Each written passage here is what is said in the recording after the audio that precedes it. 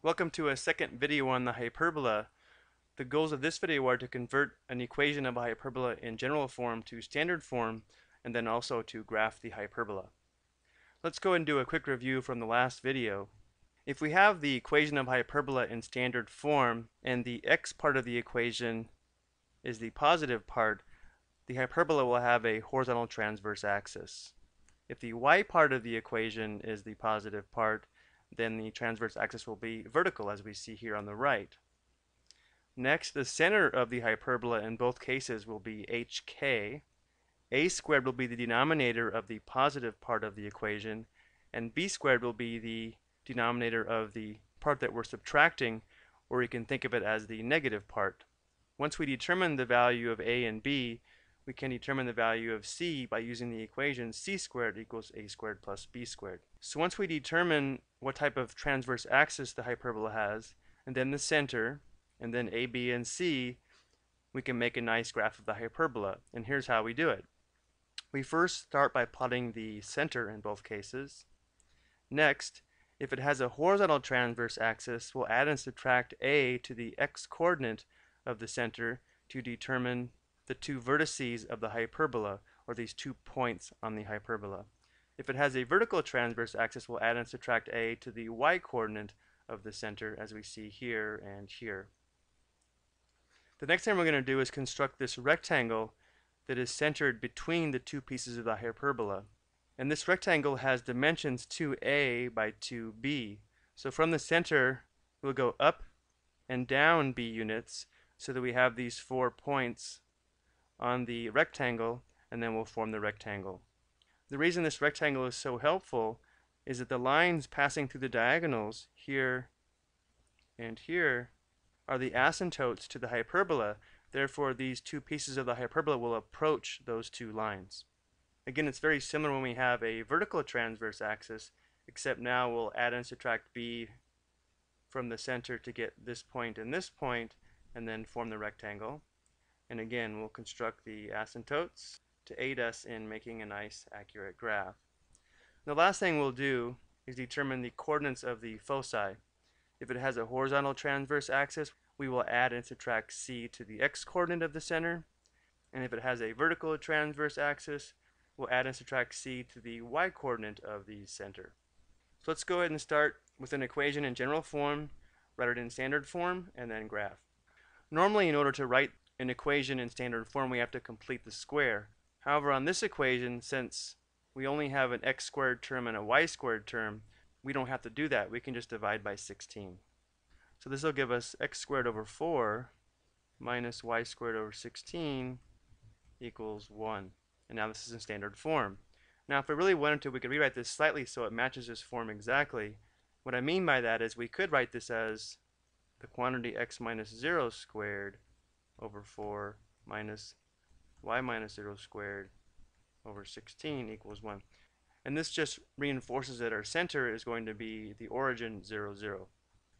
Next, since the x part of the equation is the positive part, this hyperbola will have a horizontal transverse axis. So it's going to look something like this when we finish. It'll open to the right and open to the left. This is important because if we know this, we shouldn't have to memorize all these rules in order to determine the vertices and the foci. a squared is going to equal 4 because that's the denominator of the positive part of the equation. Therefore, a equals 2. b squared will equal 16, so b equals 4. Now let's go ahead and find c. Remember, c squared equals a squared plus b squared. So you would have c squared equals 4 plus 16, that's 20. So c equals the square root of 20, which is equal to 2 square root of 5. Now since we use c to determine the foci, and we're going to be plotting those, let's go ahead and convert c to a decimal. I've already done that. It's approximately 4.47. Let's go ahead and take all this information over to the next screen and then we can make a graph.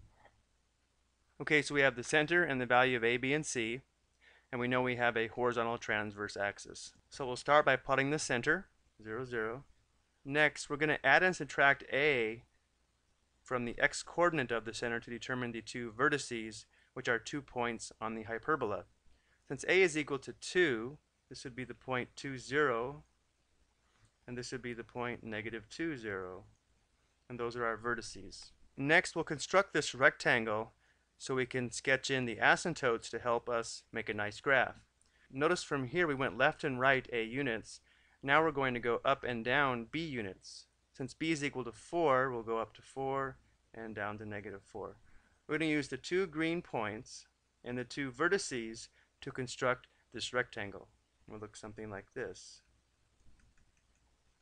Now we'll sketch the asymptotes which will pass through the diagonals of the rectangle. So from here we can actually make a nice graph of the hyperbola.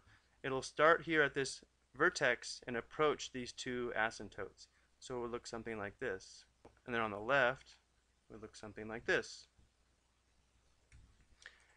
But however, we're also often asked to find the foci, so let's go ahead and do that.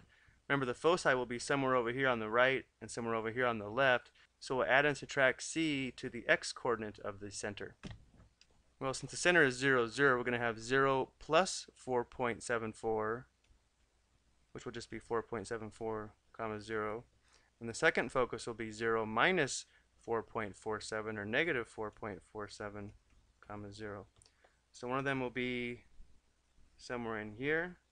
The other one will be somewhere over here. Let's go ahead and take a look at one more. So now we are going to have to uh, complete the square. So let's first group the x terms and the y terms together. Since the y squared term is positive, I'm going to go ahead and put that term first. We'll also go ahead and subtract 11 on both sides. Now in order to complete the square on the y part and the x part, we want the leading coefficient to be 1. So here we'll factor out 4, leave some room for the number. Now here we're going to factor out a negative 1, so it'll be minus positive x squared plus 2x. Okay, now to complete the square, we'll take half of negative 4 and then square it. Negative 2 squared would be 4. By putting a 4 here, we're actually adding 16. So we'll have to add 16 on the right. To complete the square here, we'll take half of 2, that's 1, and square it. So we'll add 1 here. But because of this minus sign here, we're actually subtracting 1. So we have to subtract 1 on the right. Let's go ahead and factor now. We have 4 times the quantity y minus 2 squared minus the quantity x plus 1 squared equals 4. To make the right side 1, we'll divide everything by 4 and simplify. So we're going to have the quantity y minus 2 squared divided by 1 minus the quantity x plus 1 squared divided by 4 equals 1. First thing we notice here is the y part of the equation is positive, so now we're going to have a vertical transverse axis, so the hyperbola will look something like this when we graph it. The center is located at negative 1, positive 2. This denominator here will be a squared, so a equals 1. This is b squared, so b equals 2. Let's go ahead and find c now c squared equals a squared plus b squared. Well, a squared is 1 and b squared is 4, so we have c squared equals 5. So c equals the square root of 5, which is approximately equal to 2.24. Okay, once again, let's go ahead and take this information to the next screen. So let's go ahead and start by plotting our center at negative 1, 2, be here. From here, since we know we have a vertical transverse axis, we're going to add and subtract a to the y-coordinate of the center to determine the two vertices. Since a is equal to 1, we'll go up 1 unit and down 1 unit from the center for the two vertices. So this will be negative 1, 3, and this will be negative 1, 1.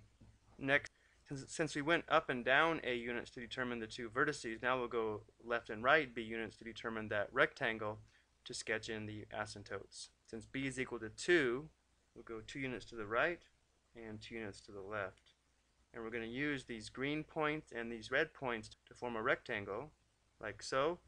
And the lines passing through the diagonals will be the asymptotes. So, so from here we can make a nice graph of the hyperbola. It starts at this vertex and approaches the two asymptotes. And the same below. Now we should end by finding the coordinates of the two foci. Since the foci will be up here and down here, we will add and subtract c to the y-coordinate of the center. Let's go ahead and write that out. So we'll have negative 1, 4.24.